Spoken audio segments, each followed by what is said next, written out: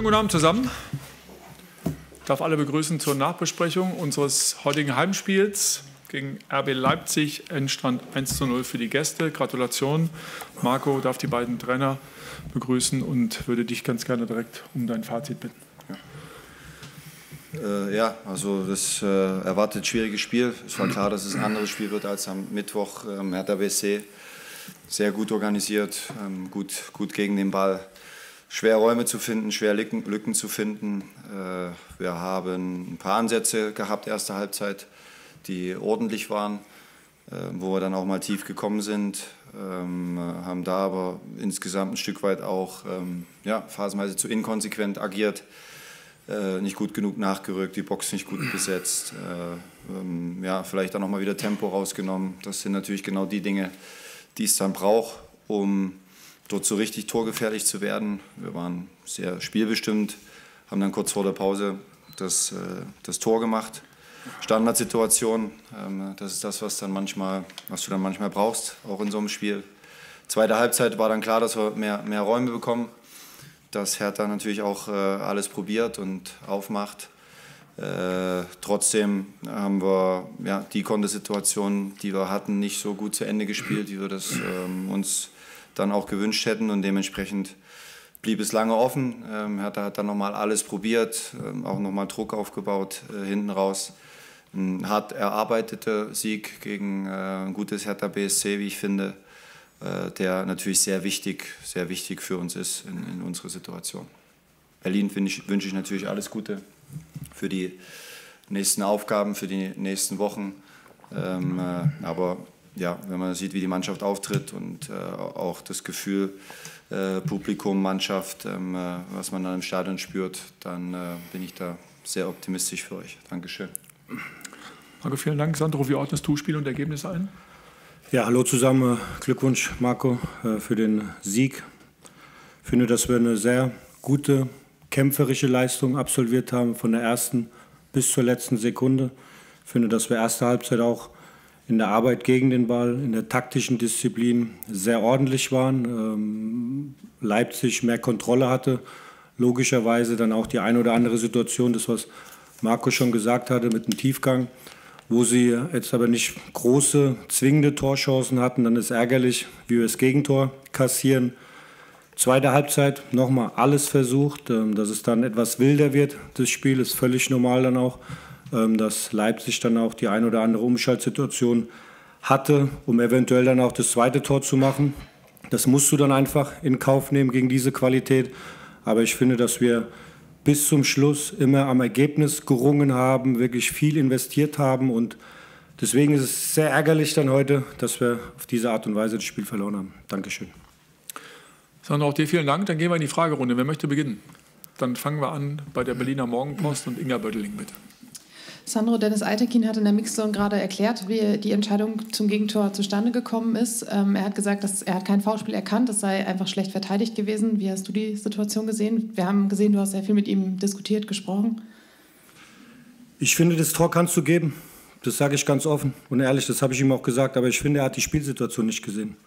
Da kann mir einer erzählen, was er will. Er hat die Spielsituation nicht gesehen, der Ball liegt im Netz. Er zeigt noch nicht mal auf den Punkt, ähm, dass das Tor gefallen ist. Sondern der Ball liegt, Leipziger Spieler logischerweise jubeln und gefühlt, keine Ahnung, 15 Sekunden weiß keiner Bescheid, was ist. Und ich finde, das ist, das ist viel mehr, ähm, wo ich mich darüber aufgeregt habe, dass er diese Spielsituation nicht gesehen hat. Und deswegen fand ich, dass der dort in dieser Aktion nicht überzeugend ähm, dort äh, gehandelt hat. Und, und, ich sage nicht richtig oder falsch, sondern in dieser Aktion. Und das war das, wo ich mich ähm, auch dann zu emotional, keine Frage, zu emotional dann auch äh, im Verlauf des Spiels darüber aufgeregt habe. Aber diese Spielsituation kann er hinterher erklären, aber niemals, niemals in diesem Moment hat er das so interpretiert, auf keinen Fall. Ihr könnt euch die Bilder angucken. Er hat nicht direkt auf den Punkt geschaut, auf den Punkt gezeigt, dass das Tor für ihn sonnenklar ist. Deswegen, das war das, ähm, wie ich das interpretiert habe und das siehst du auch an den Bildern, ganz klar. Wo geht's weiter? Dann gehen wir bitte einmal in die erste Reihe hier zu Thomas Flemer und der DPA. Mulko kommt, Sekunde. Entschuldigung, das erste Mal. Wie, wie wichtig, Herr Rose, ist es für Sie, jetzt wieder auf einem Champions League-Platz zu stehen? Ja, da wollen wir hin und das äh, zeigt, dass wir ähm, auf einem ganz anständigen Weg sind. Aber ich äh, würde ganz gerne am 34. Spieltag dort stehen. Dementsprechend äh, war uns auch in den letzten Wochen immer klar, dass äh, das nicht äh, heute oder letzte Woche oder nächste Woche entschieden wird, sondern wir gehen jetzt einfach in entscheidende Wochen. Dafür war der Sieg heute ähm, äh, gut und, und wichtig. Und jetzt ist einfach die Aufgabe, dran zu bleiben. Äh, wir haben jetzt noch sieben Spiele, denke ich, und äh, haben noch ja, ein paar spannende Aufgaben vor uns. Äh, wir kommen aus einer Phase, die uns äh, ja, vor einer Woche noch ähm, darüber hat reden lassen, ob wir so weitermachen können und wie es überhaupt weitergehen soll. Äh, und, und äh, zwei Spiele später möchte ich auf gar keinen Fall dass wir anfangen, ähm, äh, jetzt auch vielleicht diese, diese Phase zu vergessen, ähm, äh, in der es uns nicht ganz so gut ging, ähm, aus der wir uns rausgearbeitet haben, sondern ich möchte, dass wir genau mit der Schärfe, wie wir gegen Dortmund, mit dem Willen auch, wie wir heute gegen, und das hat Sandro ja gesagt, gegen einen schwierigen Gegner, der alles reingeworfen hat, der kompakt, fleißig, inhaltlich gut äh, gearbeitet hat, dass wir uns den Sieg hier erarbeitet haben, äh, ist es wichtig, dass wir dranbleiben, dass wir an den Ketten ziehen weiter, dass wir gut arbeiten, nachdem wir jetzt mal ein bisschen äh, durchschnaufen über Ostern und dann geht es ähm, komplett in den Endspurt. Dann gehen wir bitte einmal in die zweite Reihe. Marco, kannst du noch was zu Mosti Makan sagen? Er hat wieder, hing wieder bei dem Tor mit drin, schon am Mittwoch Tor vorbereitet, hatte ja eine starke Hinrunde, war dann aber ein bisschen raus und kommt jetzt wieder ganz stark wieder. Wie siehst du ihn aktuell? Genauso wie du. Er kommt ganz stark, er spielt gut. Äh, er hat letzte Woche ähm, äh, als Innenverteidiger das Tor vorbereitet, war heute wieder sehr griffig in, in Zweikämpfen, war beim Standard, beim, beim Tor mit dabei, hat ein paar Angriffe dann auch wieder mit ähm, sehr offensiv eingeleitet als, als rechter Innenverteidiger. Ja, eine Zeit lang war es einfach eine Frage der Grundordnung ähm, und der Form von Benny natürlich dann auch. Äh, aber es ist schön zu sehen, dass er dran geblieben ist und dass er sich jetzt wieder in eine Position gebracht hat, wo ich nicht an ihm äh, vorbeikomme. So muss das sein.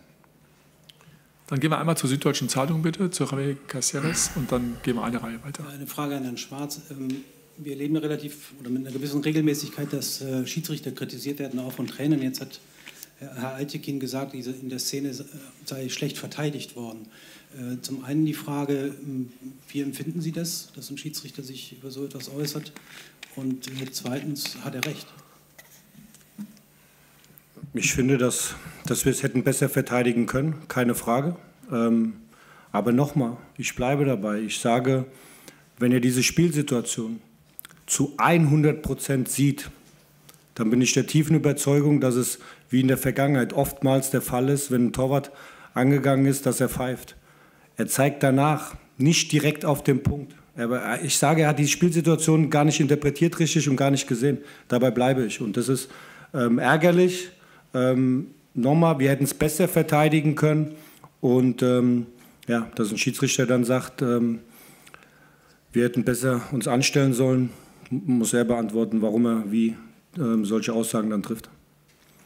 Dann gehen wir bitte eine Reihe weiter zur Leipziger Volkszeitung. Brico kommt von der anderen Seite. Ach, ja, ja. ja, hallo zusammen. Äh, Frage an Herrn Rose. Äh, neues, neues oder altbekanntes Zentrum mit äh, Dudu Haidara und Kevin Campbell. Die beiden kennen sich auch schon länger, aber so in der Form jetzt neu, sage ich mal. Wie hat es Ihnen gefallen, das Zusammenspiel? Gut, äh, finde ich. Die beiden haben das sehr ordentlich gemacht. Äh, Kevko hat heute dann in erster Halbzeit die etwas offensivere Rolle ausgefüllt. Ähm, äh, man hat das ja Dudu dann auch nicht immer so zugetraut, diese alleinige Sechs. Ähm, äh, aber ich finde, Dudu ist in einer guten Verfassung äh, und, und hat es auch heute wieder sehr, sehr gut gemacht, sowohl gegen als auch, äh, als auch mit dem Ball. Es ging heute auch gar nicht anders. Conny saß heute auf der Bank, aber war nicht einsatzfähig. Äh, hat heute beim Warm-up probiert. Also wir wussten schon, dass er nicht anfängt, aber beim Warm-up hat er dann auch gesagt, das macht keinen Sinn. und dementsprechend sind wir froh, dass die beiden das dann auch so gespielt haben. Gibt es da weitere Fragen? Dann gehen wir bitte einmal zur Bildzeitung und Paul Gorgas. Sandro, nochmal zum Gegentor, jetzt unabhängig von der Schiedsrichterentscheidung. Prinz Boateng hat gerade davon gesprochen, dass ihr wacher sein müsst, euch mehr pushen müsst in solchen Situationen, weil es wieder ein Standard-Gegentor war. Ist es nur das oder steckt da noch mehr dahinter und wie kann man das jetzt abstellen im Saisonendsport, wo das wirklich Punkte kostet und euch da unten drin hält? Ja. Auch das nicht grundsätzlich werden. Ich finde, ähm, es stimmt, was die Daten auch sagen, dass du das ein oder andere Standard-Gegentor zu viel bekommen hast. Aber ähm, das, was heute in dieser Situation ähm, passiert ist, das hat jetzt wenig damit zu tun, äh, sondern das ist dann was Individuelles gewesen in dieser Situation. Dennoch finde ich, dass wir über weite Strecken auch, ähm, auch schon äh, in Freiburg, in Freiburg brutale Qualität, was, äh, was ihre Standards offensiv angeht, dass wir das schon auch ähm, sehr, sehr gut wegverteidigt haben. Und da gilt es dran zu bleiben. Äh, heute hat wenig damit zu tun jetzt, äh, wie die Zuordnung ist, Raumdeckung, all das, sondern das ist was Individuelles. Nochmal, ähm, Schiedsrichter bin ich überzeugt davon, auch wenn ich mich wiederhole, sieht die Spielsituation nicht, zeigt nicht direkt aufs Tor. Und das ist das. Ähm, hat jetzt wenig damit zu tun mit den Standardgegentoren, die wir in dieser Saison schon kassiert haben. Dann bleiben wir bei der Bild. Ivan Gabriel. Äh, Marco Christo in Kongo, wenn alles gut läuft, bekommst du ihn ja nächstes Wochenende zurück. Du hast gesagt, du wirst vor dem Spiel mit ihm sprechen. Äh, wie ist das gelaufen? Hat er, war er sehr, musstest du ihn sehr bremsen? Hat er von sich aus gesagt, lieber kein Risiko eingehen? Also was hat zu der Entscheidung geführt, dass er nicht dabei war? Du hast ja gesagt, nur ein Mannschaftstraining mitgemacht, aber auch so, wie lief das Gespräch? Wir haben es gemeinschaftlich entschieden. Also er äh, war dann auch der Meinung, dass es Sinn macht, äh, äh lieber dann auch nochmal ein gutes Training zu bekommen.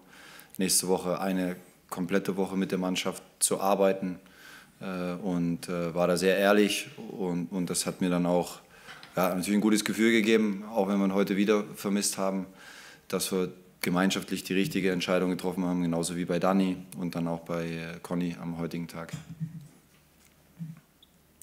Dann gehen wir bitte nochmal zu Paul Gorgas, Bild BZ.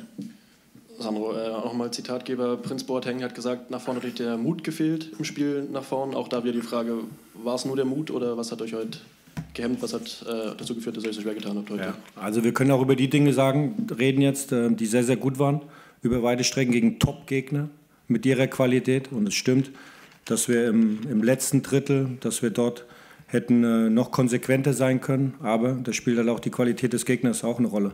Und äh, in der einen oder anderen Situation geradliniger spielen, vertikal reinspielen, mehr Tiefe noch zu suchen, um äh, bessere Umschaltsituationen zu generieren. Aber ich finde, ähm, nochmal, das, was die Jungs abgerufen haben, gegen, äh, bleibt dabei, gegen sehr, sehr guten Gegner, die drei Tage vorher Dortmund keine Chance lassen, keine Chance lassen, finde ich, dass wir bis zum Schluss um Ergebnis gerungen haben aufgrund einer kämpferischen Leistung. Und äh, ja, das äh, klar, wenn du, das, äh, wenn du drei Punkte holen willst, dann äh, fehlt so der letzte Pass, die Präzision, Torschuss, die du hattest, die Situation. Su hat kurz vor Schluss die Möglichkeit, da hättest du einen Lucky Punch setzen können, dann zumindest mal einen Punkt hier zu behalten.